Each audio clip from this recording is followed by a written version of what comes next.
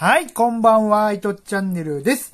えー3月30日ということで、水曜日ですね。えーもう3月が終わりに近いんですけれども、皆さん出会いとね、別れ感じてますでしょうか ?3 月ってそういう時期ですよね。新しい出会いが4月にあったりとかするんですけれども、まあ僕もね、最近ちょっと出会いと別れの季節だということで、えー悲しい別れが一つあってですね、えーちょうどね、僕のね、住んでるマンションの隣の部屋ですかね、その隣の部屋の方がね、まあ引っ越す引っ越すって前々から聞いてたんですけど、マンションの、マンション売ってね、うん。新しいとこ引っ越すよ、みたいな話を聞いてたんで、まあ、いつ引っ越すかなと思ったら、僕がね、どうも入院中にね、引っ越しちゃったらしくてね。で、そこのね、隣の住人はね、あの、夫婦二人とね、旦那さんと奥さんと、えー小学生の子供がね、よく、あのーまあ、生活してたんですけど、その小学生の子供とね、僕がよくね、一緒にエレベーター乗ることがね、ちょくちょくあったんですよ。はい。まあ朝たまたま一緒のタイミングとかね、外出するタイミングでたまたま一緒だったりっていう時でね。で、その子供がね、よくね、僕のことをね、おじちゃん一人なの、結婚しないの、みたいな、もったいないとかって言ってくれて、ね、そこでよくね、まあ結婚はいいかな、なんて言ってね、うん結婚しないです、ごめんなさいね、とかって言っててね。なぜか僕敬語だったりするんですけど、小学生に対してね。はい。まあそんなね、なかなか面白い子供でね、えー今後の成長が楽しみだななんて思ってた矢先にね、引っ越しちゃったんで、非常にね、最後に顔見れなくて悲しいななんて思ってました。で、新しい出会いということで、まあ隣の部屋のね、住人の方がね、あのー今度は新しい人引っ越してきてね、えー先週だったかな。僕が退院して2日後ぐらいにね、インターホンピーンポーンってなって、パッと見たらね、知らないお兄ちゃんとね、奥さんがね、えーいて、えー挨拶したいんですけど、ってことでね、来たんで、まあちょっとね、玄関開けてパッと話したんですけど、髪の毛ボッサボサの状態で、髭もじゃーって入っててね、頭ボッサボサでこ汚い姿で、ね、一応玄関出てたんですけど、まあそれでね、えーはい、あ新しく引っ越してきました、みたいな話してね、ああ、そうですか、なんて言ってね、えー、何、〇〇と申します、今後ともよろしくお願いします、とかって言ってね、えー言われたんで、まあ僕もね、自己紹介しなきゃと思ってね、僕は僕も伊藤と申します、みたいな話してね。で、そしたらね、伊藤、あ、伊藤さんのことはね、よくあの、前の住人の、なれ〇〇さんから聞いてますよ、みたいな話があってね、えーどんな話したんだなんて思いながらね、すごい気になったっていうのはあるんですけど、まあなんか変なこと言ってませんでしたみたいな話があって、いや、そんな大した、あのー詳しくは聞いてないですよ、みたいな話があってね、あんまりね、えー気になっちゃうんでね、そこら辺の話をしてね、どうもね、あの、離婚した話、僕が離婚した話は知ってましたね。離婚して今一人で住んでるっていうことがね、知ってるみたいだったんでね。はい。ちょっと犬が吠えてますけど、まあそんな感じでね、出会いと別れの季節かな、なんて思ってます。はい。まあ皆さんもね、ぜひね、そういうところがね、3月4月ありますんでね、えー楽しくね、新しい別れもあるけれども、新しい出会いもありますんでね、えそこをね、楽しんでいただければな、なんて思います。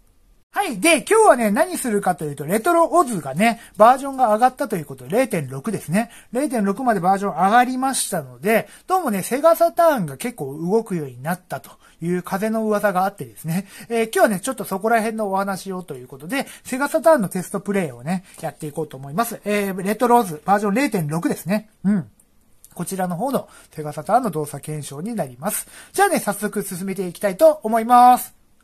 はい。で、今回ね、使うのがね、RGB10MAX2 なんですけど、あ、一つね、注意点、ちょっと今日ね、ちょうどあの、コメント欄でいただいてた話があって、ちょっとそこら辺のお話しますね。で、RGB10、まあ普通にね、SD カードさしてやると、まあ RGB10 のね、えー最適な条件で動くんですけど、実はね、このアナログスティックの動きがね、上下逆になります。で、それがね、ちょっとね、あのー機種ごとによっていろいろ違うんで、それをね、オプションによってね、で、選択してあげなきゃいけないんですよ、実は。ここのオプションっていうところをね、押すと、こんな感じで出てきます。で、ちょっとフォーカス合わないか。はい。で、ここでね、デバイスって項目があるんですよ、実は。ここにね、こう、ちょっと拡大しますね。よいしょ。デバイスっていうところがあって、これによってね、この機種をね、選択しなきゃいけないんですよ。で、今回この RGB10 の MAX の状態で一番初期設定になってるはずなんで、これで最適な状態になってるんですよ。で、その結果どうなるかっていうと、RGB10MAX2 でやるとね、アナログスティックがね、上下逆に動いちゃうっていう話があって、で、これをね、ここの RGB10MAX2 のね、このスタートアン、スタートセレクトっていう、この状態で、えー、動かしてあげて、これを選択すると RGB で MAX2 用の設定に変わりますんで、まあ、あと、オードロイド5を使ってる方もね、えー、このオードロイド5、えー、バージョン11とかね、えー、1.1かな？とか、オードロイド GO スーパーとかね、これにね、最適化されますので、えー、これで動かしてくださいというお話です。ちょっとね、この話前々からちょっと抜けてたんで、えー、ちょっと改めてその話しときます。オプションのデバイスのとこですね。これで最適化してから動かしてください。そうするとね、アナログスティックも上下反転してる、左右反転してたりするんですけど、これが治りますんで、えーぜひね、それで動かしてください。あとね、それでエミュレーターがね、それによって使えるエミュレーターがちょっと変わってきますんで、エミュレーターもね、最適なものを選んでくださいということで、もう、あのー、例えばレトロランの32がね、使えなくなっちゃってるんですよ。これやる、やることでね。だからその代わりレトロランっていう普通のレトロランを使っていただくとかね、えー、そういうような工夫をちょっとね、今日ちょっとその話視聴者さんと あのー、コメントでしてたんで、えせっかくなんで皆さんに展開しておきます。じゃあね、早速セガサターンのソフトね、何本か動かしていこうと思います。はい、じゃあまず1本目なんですけど、軽いソフトからね、まず動かしていきます。えー、ストライカーズ19452ですね。はい。こちら、最強をね、代表するシューティングゲームになっております。まあ面白いよね、このゲームね。オリジナルでいきましょうか。やっぱオリジナル2でいきましょうかね。こちらのこう、こう上下に動くの好きなんですよね。はい、これでいきます。レベルも5でね、いきますね。第二次大戦、1945年のね、第二次大戦みたいなのを意識して作ってるゲームですよね、確か。ライトニング、フライパン、なんとかって書いてますね。えー、まあいろいろあるんですけど。まあとりあえずちょっとこのスタンダードなやつでいきましょうかね。ライトニング。どうだったかな？動きね。はい、こんな感じで。アナログスティック使えるかな？アナログは使えないか。こんな感じでね、普通にね、こうやって遊べますね、これはね。まあ、このシュー最強系のシューティングはね、結構軽いんですよ、もともとが。だからね、こうやってね、ため攻撃とかあったりしてね、こうやってね、ダーンって。まあ、これもね、気持ちいいですよね。ちょっともっさりしてる感じはありますけどね。まあ、な、な、あ、やられちゃった。まあ、なんとかね、動きます、これも。全然快適に動いてるかなと思います。まあ、これはね、もちろんプレイステーションでも遊べるんでね、わざわざセガサターンじゃなくてもいいっちゅういいんですけど、まあちょっとね、最強系シューティングは結構ね、僕のお気に入りで。ガンバード好きなんですよ、実はね。僕ね。ガンバードめちゃめちゃね、あのー、こすり倒しましたね。ガンバードはね、もうね、全キャラでクリアしたし、あのね、ヤッターマンのね、声のね、感じのね、キャラになってるのがね、ほんとね、好きでしたね。マリオンとかね、いいキャラいましたよね。うん。あの、最強系シューティングほんと大好きで。うん。ちょっとね、セクシーキャラがね、いっぱい出てきたりね、うん、するんですよね。まあ、これちょっとセクシーキャラは全くないんですけど、1945はね。もう硬派なゲームなんですけど、完全に。おーっと危ねあ、ね、死んじゃった。ちょっとね、ちゃんとボム使わないとダメだね、こういうとこはね。よし。よしよしよし。こんな感じでね、結構ね、しっかり遊びます。で、ためもね、こうやってできるんで。こうね、いろいろね、どうしても倒したくなっちゃうね。よし、来ましたね。ボス戦かな？そろそろ。お危ねえ、危ねえ、危ねえ、危ねえ。よしよしよしよしよしよし。よしよしよしよしよし。やっぱね、この RGB テ MAX がね、ほんと握りやすいんですよ、これ。で、手軽で遊べる、あー、ボムつかねえ。もうこれ、やられちゃいましたけど、コンティニューしますけどね。下手くそにも程があるだろうってう。はい、こんな感じで。で、ちゃんとね、ボムを使えばよかったんですけど、こうやってね。ボム、ボムをちゃんと使えますね。こんな感じで。いいですね。集中放火だって言うからね、こうやって。でね、大体この最強系のシューティングはね、ボスがね、ロボットに変形するんですよ、こうやって 大体は。よし、これもちょっとごめん、ボムで。こうやってね。大体ロボットに変形します。どんなものもね、うまく、うまい感じでね、ロボットに変形するんですよね。最強系シューティングね。はい。こんな感じでね、結構いいですね。うん。結構快適に動いてるかなと思います。よし。ちょっとこのボス倒すので。うわー、もうミサイルが激しい、激し倒しましたね。はい、こんな感じで、19452ね。名作シューティングですけれどもね。僕は結構大好きですね。はい、こんな感じでかなりね、楽しめるかなと思います。次のゲームね、行きたいと思います。はい、じゃあ次のゲームなんですけれども、対等のね、チェイス HQ プラス、あ SCI ってやつでね、チェイス HQ と SCI っていうゲームがね、2本入ってます。で、タイトル、今日はね、チェイス HQ の方でね、行きたいななんて思います。いいですよね、チェイス HQ ね。僕ね、ゲームボーイ版でね、めちゃくちゃ擦り倒して遊んでましたけどね、ゲームボーイ版。初めてね、このゲームに出会った時はね、もうかなり衝撃的でしたね。車をぶつけて犯人を逮捕するっていうね。いいですよね。いいですね、音声。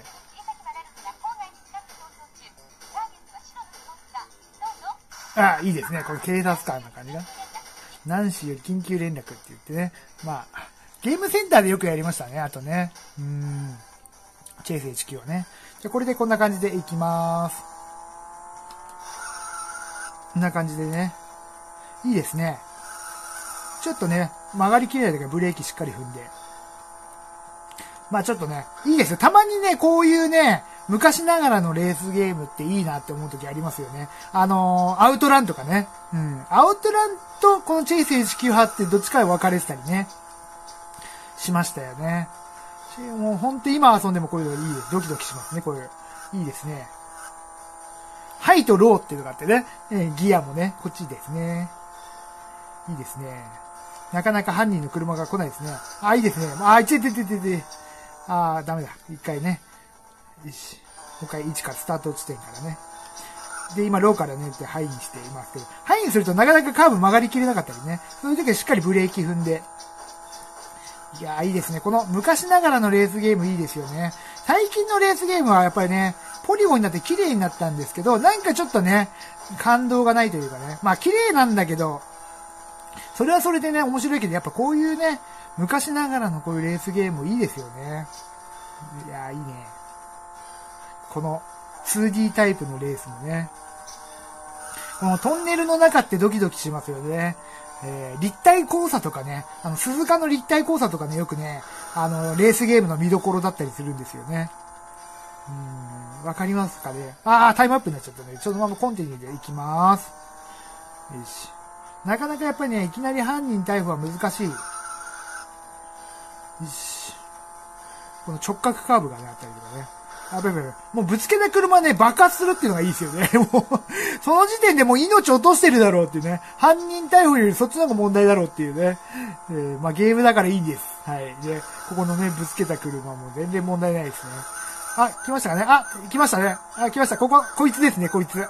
こいつにね、ぶつかりながら倒していくっていうね。これがいいですよね。で、ぶつかって、あー、邪魔だな、他の車ね。うわ、他の車爆発した。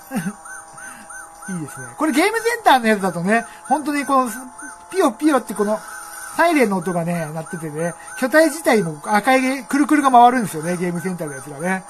これがね、ほんとね、やってて面白かったですね、当時はね。チェイス HQ のアーケード版ね。これがね、セガサターンでね、あるんで、こうやって。ああ、いいですね。もう火吹いてますね。ざまみろっつってね。よしよし。で、この距離感取りながら、こいつにぶつけていくと。どうぶつけるか、横からぶつけるとね、こうダメージがでかいとかね。よしよし。もうちょっとですね。もうちょっと、このゲージがね、もうもうちょっとで溜まりますんで。よし。犯人者。犯人対応するぞ。チェイスゲームってなかなかないですからね。よっしゃー。よし、もうちょっとだ。よっしゃ、逮捕か？逮捕、逮捕しました。ということでね。無事、事件は解決ですね。はい、こんな感じで。いいですね、この犯人を床にね、床にこう押さえつける感じがいいですよね。はい、っていう感じで、チェイス19ね。これもね、結構しっかり動いてるかなと思いますね。ナンシーね。いいですね。いいですね。キロイススポーツカーがどうぞ、つってね。はい、っていう感じですね。はい。なかなか小さい HQ も面白いんで、ぜひね、遊んでみてください。はい、じゃあ次なんですけど、機動戦士ガンダムガイデン3ですね。サイドストーリー第3章ということで、えー、こちらもね、クソ面白いゲームなんですけど、ね、まあ一応ね、今回ポリゴン系どうなのっていうことなんですけど、やっぱりね、ポリゴン系はね、結構ね、厳しいんじゃないかなと思ってね、どれぐらい動くのかということをちょっとね、見ていこうと思うんですけど、まあ、結構ね、そのやっぱりね、エグザム奪還作戦ということで、えー、セガサターンのポリゴン系はね、重たいです。うん、どれもね。でもね、結構動く方なのかなと思ってるんですけど、ちょっと音飛んでますけどね、もうね。ほらもう。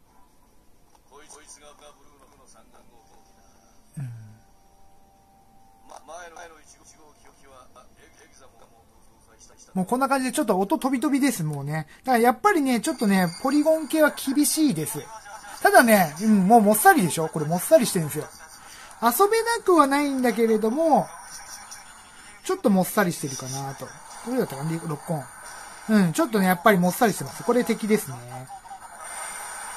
うん、こんな感じでね、ちょっともっさりしてますね。うん、遊べなくはないですよ。だからもう完全にね、やっぱポリゴン系はダメかなと思いますね。まだそこまでやっぱパワーがないんですよね。レトローズでも。だからね、やっぱ 2D 系の、まあ、セガサタンって 2D 系のゲームがそこそこね、豊富にあるんで、2D 系のね、さっきのチェイス HQ とか、まあ、シューティングゲームやストライカーズとか、2D シューティングとか結構豊富にあるんで、まあ、そっちの方がね、いいかなと思います。うん、ガンダムガイダムのこういうポリゴン系はね、まだ動く方だと思いますけど、まあ、ダメですね。うん。これだったらアンドロイド系で動かした方がいいかもしれないですね。アンドロイド系のなんかゲームでね、エミュレーター機で動かすと。いうがまだ綺麗に動くかなと思います。やっぱレトローズだとちょっとやっぱりこれは難しいかなと。まあ遊べますよ、一応ちょっともっさりしてるんでね。まあ、こっちの方が遊びやすいっていうのはありますよ。スピード感が若干落ちるからね。うん、まあこれでもいいやっていう人も、ね、中にはいるかもしれないですね。これ、この程度で遊べればいいや、みたいなね。逆に遊びやすいですからね、こういう方がね。まあ、ないか。うん、まあ、三角ぐらい与えてもいいかなと思いますけどね。これで。遊びやすいですよ、やっぱり。弾とか避けやすいですからね。よし。次はどこにいるかないないな。いた、いたかなこっちかなロックオンしましたね。ここのまっすぐ行ったところいるかないいですね。この、スケート、ドム並みに滑るこのね、キャラクターがいいですよね。いないな。この先にいるのかな敵がいないですね。いましたね。これですね。これです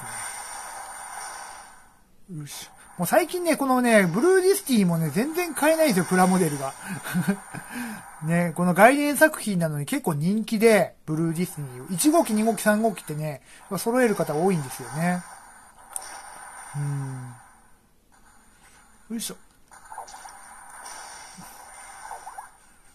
ロックオンしてますけどね。あ、今、出ちゃうね。出ちゃうね、これね。あ、いて。よいしょ。こんな感じで、一応ね、遊べるっちゃ遊べるけど、まあ結構厳しいかなといった感じですね。はい。ポリゴン系はこんな感じですね。まあ、ちょっとこのザクだけ倒しましょうか。このね。よいしょ。よいしょ。まあ僕もね、このゲームね、あの入院中 ずっとやっててね、クリアしたんですけど、結構やっぱ面白かったですね。うん、このガンダムのサイドストーリーっていうのがね、名作だと思いますんでね、えー、ぜひ皆さんも、まあこれでもいいやって方はね、こっちでレトローズで遊んでみてはいかがかなと思います。はい、じゃあ続きまして、悪魔城ドラキュラ X ですね。何かとね、僕これ指標にしてるんですけど、まあ結構ね、今回は、なんか動きがいいです。あのー、はい。もう、なんかね、いいですね。ちょっと音飛んでますけど、うん。まあ、えー、あ、Z ですなんか違う文字入っちゃいましたけどね。で、まあ、いつも通りね、アルカードじゃなくて、リヒター使っていきますね。アルカードちょっとね、出だしのオープニング長いんでね。はい。なんか、プロローグから始まるんでね。えー、まあ、リヒターでやるとね、まあ、無知で、ビシバシといつもやってるんですけど、まあ、結構ね、動く方かな。2D に近いんでね、これもね。ほら、ちょっとね、うん。ちょっとカクカクしてるけど、まあ全然いける口かななんて思います。うん、ちょっと重たいかな？うん、9割ぐらいかなって感じがしますけどね。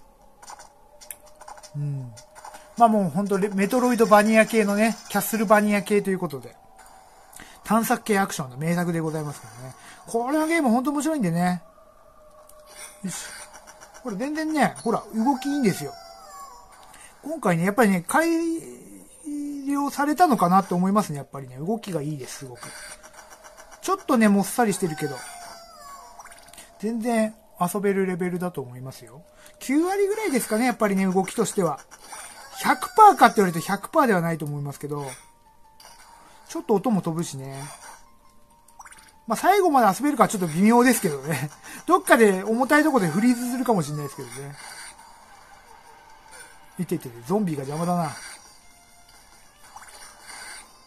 まあ、もっと快適かな。ちょっと音飛んでますね。よし。いやーもうこのゾンビ邪魔だな。よし。もっとね、速いんだよね、スピード感がね、あるんだけど。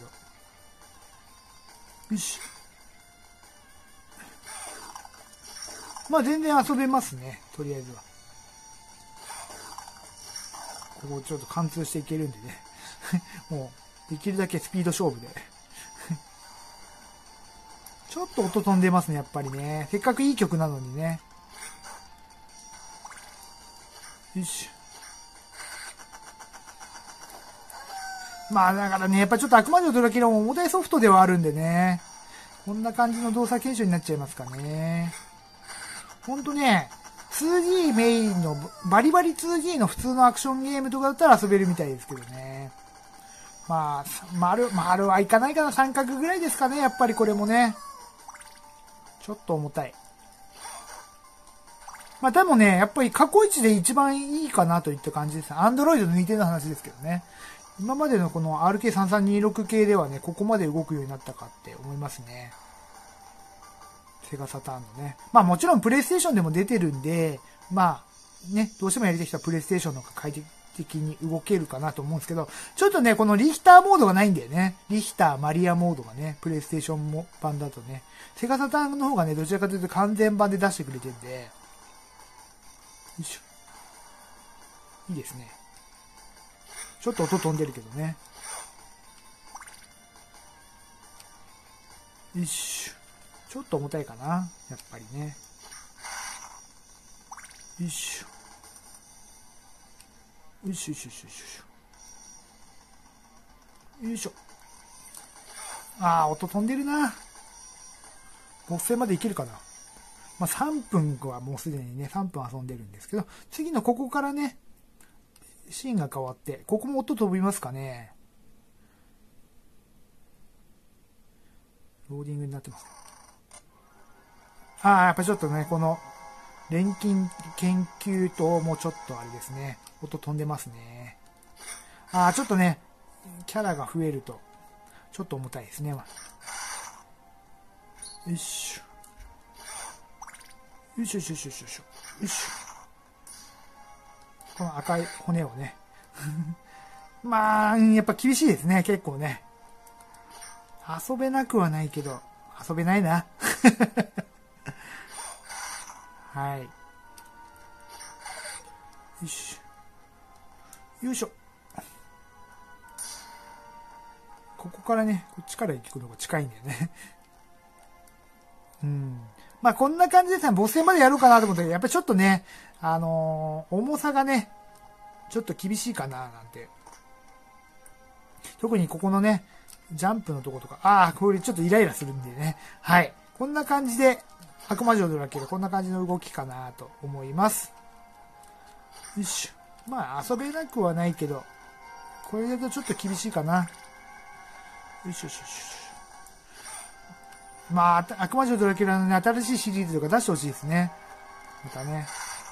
まあ、最近結構増えましたけどね、このキャッスルバニア系の、メトロイドバニアか、探索系のゲームはね。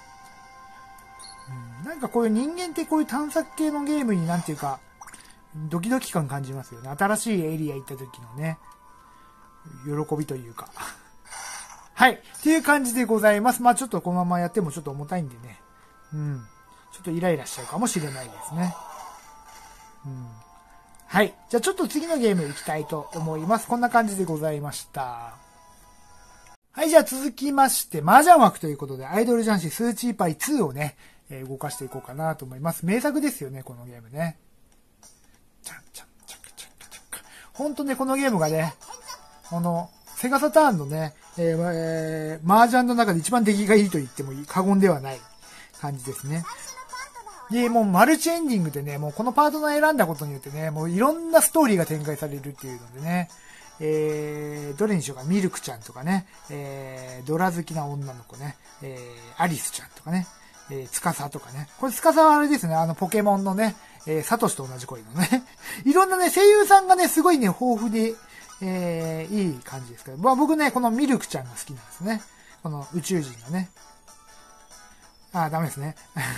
ちょっと、パートナー選ぶときのボタン、決定ボタン間違っちゃった。ミルクちゃんでね、このうさぎのね、ミルクちゃんがね、ミルキーパイのミルクちゃん。このね、ぶっ飛んだ考えがね、好きなんですね。ミルクちゃんいいよね。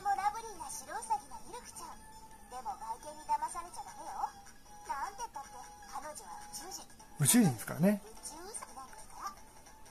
宇宙ウサギですからね。でちゃんとね、アニメーションもね、バッチリ変身するんですよね。ミルキーパイということでね。うん、いいよね、このセクシーさのまるでない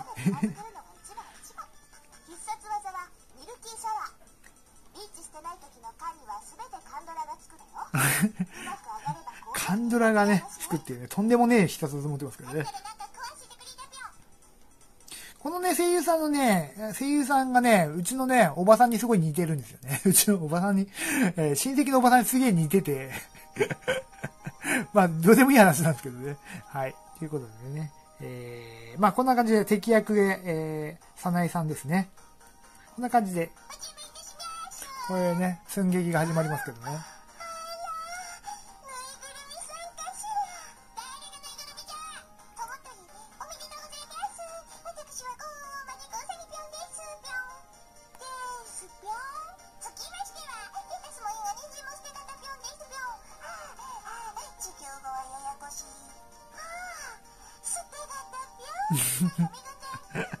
まあこんな感じのね、寸劇がね、繰り広げられるんですが、まあちゃ、ちゃんとね、えー、ちょっと飛ばして麻雀のね、方行きましょう。